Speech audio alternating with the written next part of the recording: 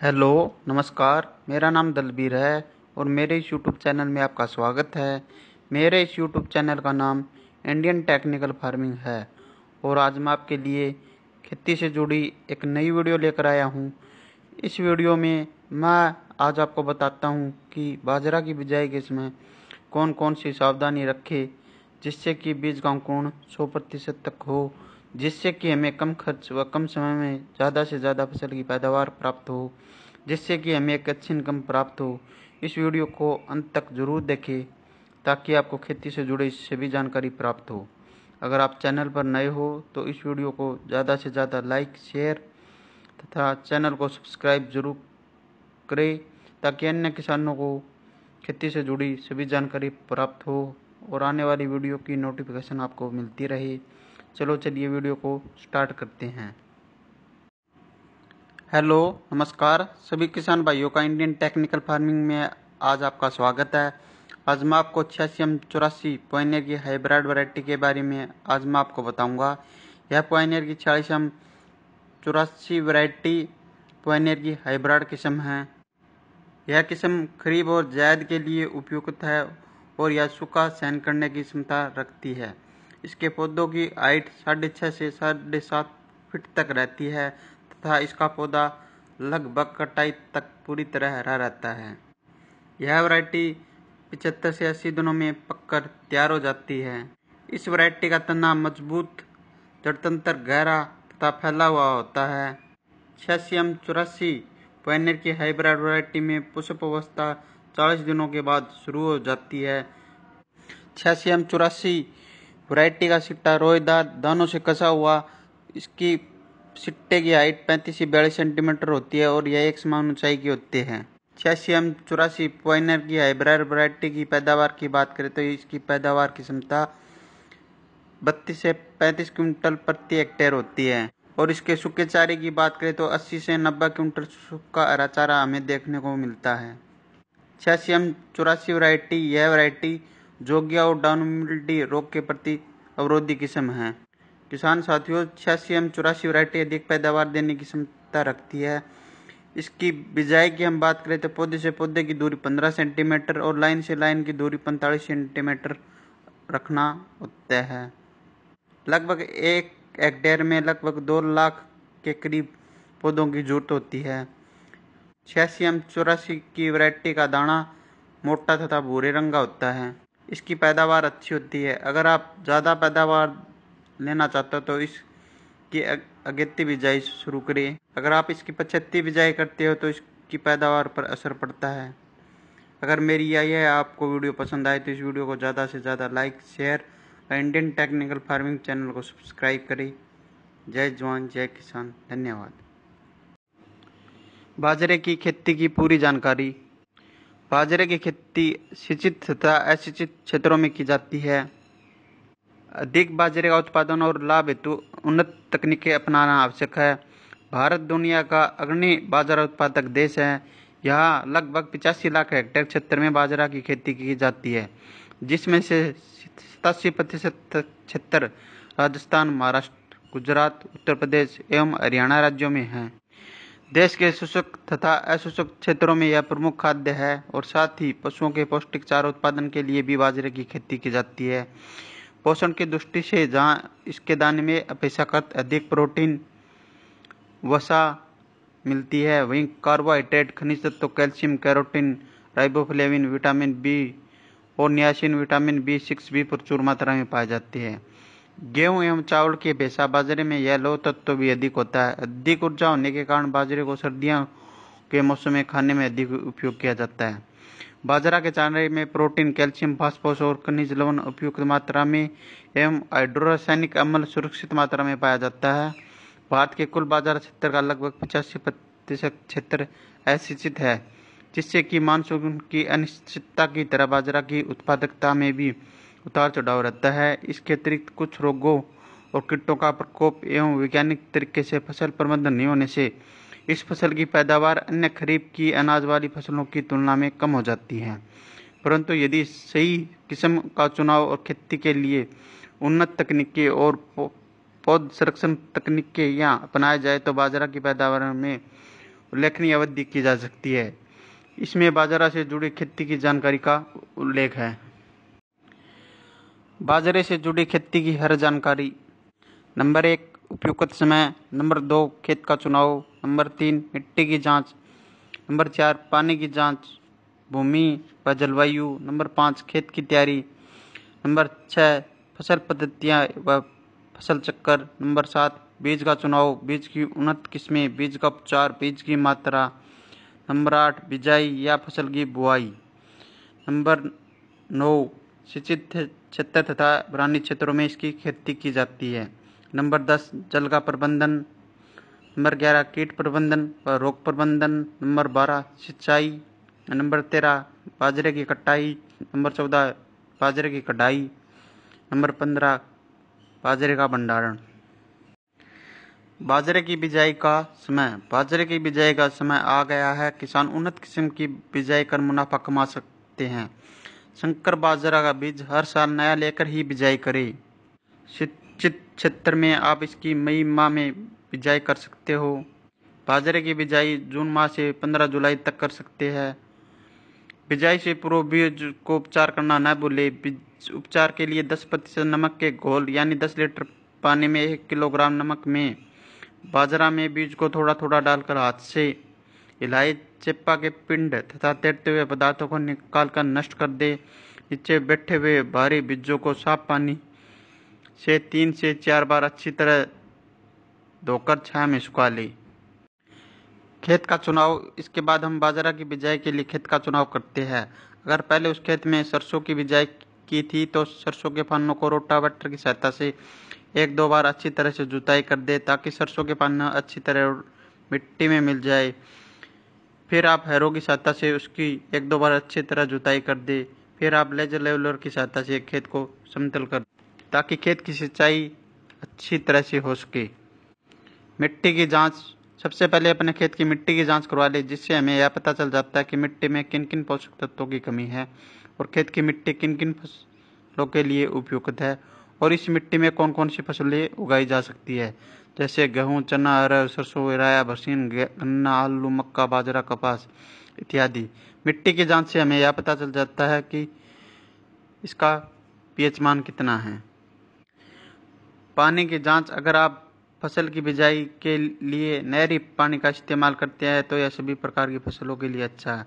अगर आप बारिश के पानी से फ़सल की सिंचाई करते हैं तो भी यह सभी फ़सलों के लिए अच्छा इसमें बीज अंकुरण लगभग सौ प्रतिशत तक हो जाता है। अगर आप ट्यूबवेल के पानी से फ़सलों की बिजाई करते हैं तो इस ट्यूबवेल के पानी की जाँच करवाना बहुत ज़रूरी है। अगर ट्यूबवेल का पानी पीने में मीठा है तो इसमें पानी का पीपीएम ज़्यादा हो सकता है और बीज अंकुरण के समय यह एक समस्या बन जाती है। अगर पानी का पीपीएम एक हज़ार से कम है तो यह सभी प्रकार की फ़सलों के लिए उपयुक्त है और सभी प्रकार की फ़सलों के लिए अच्छा है और इसमें बीज का अंकुरण सौ प्रतिशत तक हो जाता है। अगर पानी का पीपीएम एक हज़ार से ज़्यादा है तो इसमें बीज का अंकुरण सही तरीके से नहीं, हो पाता इसलिए पानी की जाँच करवाना बहुत ज़रूरी है। अब हम बात करते हैं बाजरा की बिजाई के लिए भूमि। बाजरा की फ़सल सभी अच्छी जल निकास वाली सभी तरह की भूमि में की जा सकती है परंतु बलुई दोमट मिट्टी इसके लिए सर्वोत्तम है। बाजरे के लिए भारी भूमि कम अनुकूल रहती है और इसकी अधिक उपजाऊ भूमि की आवश्यकता नहीं होती। जलवायु, बाजरे की खेती गर्म जलवायु और 400 से 600 मिलीमीटर वर्षा वाले क्षेत्रों में भली बाती की जा सकती है। बत्तीस से सैंतीस सेल्सियस तापमान बाजरे के लिए उपयुक्त माना गया है। यदि पुष्पन अवस्था में वर्षा हो जाए या फुहारों से सिंचाई कर दी जाए तो फूल धूल जाने के कारण बाजरे में दानों का भराव कम हो जाता है। बालियों में दाना बढ़ने की अवस्था में यदि नमी अधिक हो और तापमान कम हो तो अर्गट रोग के प्रकोप होने की संभावना ज़्यादा बढ़ जाती है। फ़सल पद्धतियाँ। बाजरे की फ़सल के साथ यदि दलहनी फ़सल जैसे मूंग, ग्वार, अरहर, मोठ और लोबिया को अंत फ़सल के रूप में बोया जाए तो न केवल बाजरा के उत्पादन में वृद्धि होती है, बल्कि दलहनों के कारण मिट्टी की उर्वरकता में भी सुधार होता है और अतिरिक्त दाल उत्पादन से कृषकों की आयु में भी वृद्धि होती है। साथ ही दलहन वर्गीय फ़सलें अधिक नाइट्रोजन शिथिकरण करती है, जिससे मिट्टी में नाइट्रोजन बढ़ जाती है। फलस्वरूप उर्वरकों से नाइट्रोजन कम देनी पड़ती है, जिससे कृषि की लागत में बहुत कमी आती है। फ़सल चक्कर, मिट्टी की उर्वरकता बनाए रखने के लिए फ़सल चक्कर अपनाना महत्वपूर्ण है। बाजरे के लिए निर्म, एक वर्षीय फ़सल चक्रों को अपनाना चाहिए, जैसे बाजरा, गेहूँ या जौ, बाजरा, सरसों या तारा मीरा बाजरा, चना, मटर या मसूर, बाजरा, गेहूँ या सरसों, बाजरा सरसों या ग्रीष्मकालीन मूंग। बाजरा की उन्नत किस्में। अलग अलग राज्यों की बाजरा की उपयुक्त किस्में अलग अलग है, जैसे राजस्थान, महाराष्ट्र, गुजरात, उत्तर प्रदेश, हरियाणा, कर्नाटक, आंध्र प्रदेश, तमिलनाडु। हमें बिजाई के लिए उन्नत किस्मों का ही चुनाव करना चाहिए, क्योंकि ये कम समय व कम खर्च में ज़्यादा से ज़्यादा उत्पादन देती है। हमें बिजाई के लिए उपचारित बीज का ही प्रयोग करना चाहिए। एक अंकड़ के लिए बीज की मात्रा लगभग डेढ़ से ढाई किलो पर्याप्त रहती है। यह बीज की वैरायटी पर निर्भर करता है। अगर आप संकर किस्मों के बीज की बिजाई करते हैं तो लगभग एक अंकड़ में डेढ़ से दो किलोग्राम बीज की आवश्यकता होती है। मैं बिजाई के समय उपचारित बीजों का ही इस्तेमाल करना चाहिए, क्योंकि इससे रोग की संभावना आने की कम रहती है। जैसे हरियाणा के लिए अच्छी दस अच्छी बीस पूसा चार सौ तिरालीस पूसा तीन सौ तिरासी एच एच बी दो सौ तेईस एच एच बी दो सौ सोलह एच एच बी एक सौ सतानवे एच एच बी सड़सठ इम्प्रूव एच एच बी एक सौ छियालीस एच एच बी एक सौ सत्रह वैरायटी है।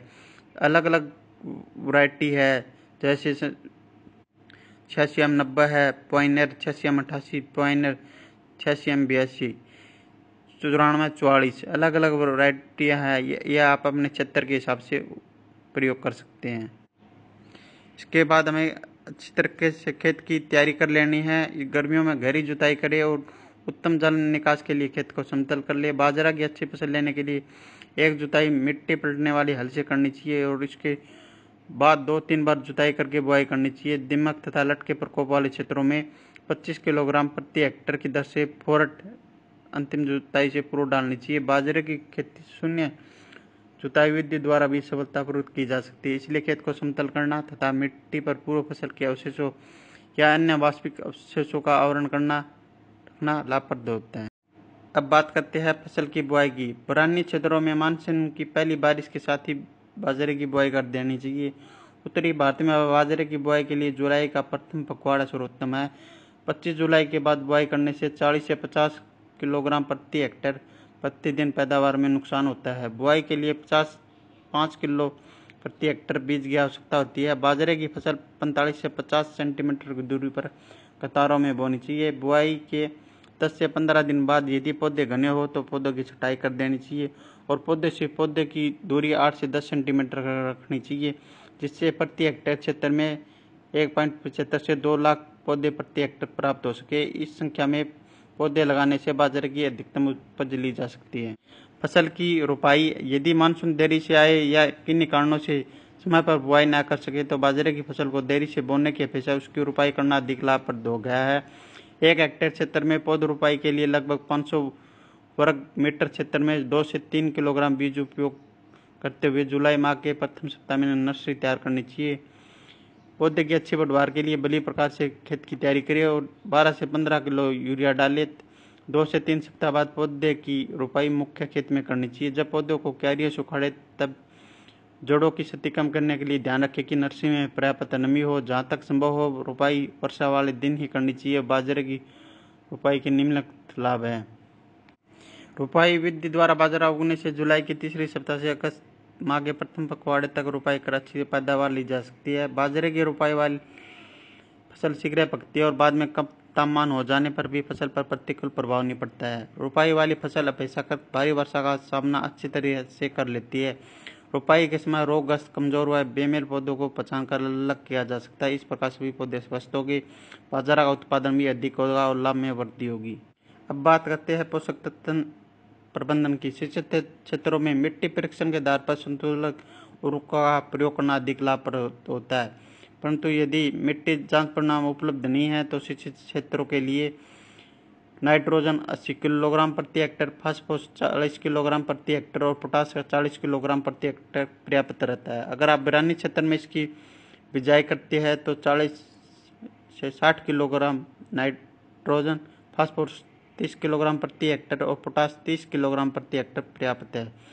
शिक्षित तथा अशिक्षित क्षेत्रों में जस्ते की कमी हो तो पाँच किलोग्राम जस्ता प्रति हेक्टर की दर से दे, जैव उर्वरक जैसे एल्जोस्पिरियम व फास्फोरक गोलक जैसे उर्वरकों के द्वारा बीज उपचार करके बुआई करना फ़सल के लिए अधिक लाभप्रद होता है। सिंचित व असिंचित दोनों परिस्थितियों में नाइट्रोजन की आधी मात्रा और फास्फोरस व पोटास जस्ते की पूरी मात्रा लगभग तीन से चार सेंटीमीटर गहराई पर मिट्टी में डालनी चाहिए। नाइट्रोजन की शेष मात्रा बुआई से तीस से पैंतीस दिन बाद मिट्टी में उपयुक्त नमी होने की स्थिति में करनी चाहिए। अगर आप बीज को उपचार करते हैं तो सबसे पहले राइजोबियम, सबसे पहले फंगीसाइड, फिर इंसेक्टिसाइड फिर राइजोबियम कल्चर से उपचार करते हैं। सिंचित क्षेत्रों में एक से दो सिंचाई बाजरे की की जा सकती है। ये आप तीस तीस दिन के अंतराल पर कर सकते हो। बिरानी क्षेत्रों में सिंचाई वर्षा के ऊपर निर्भर करती है। अच्छी वर्षा हो जाए तो फ़सल की सिंचाई अच्छी हो जाती है।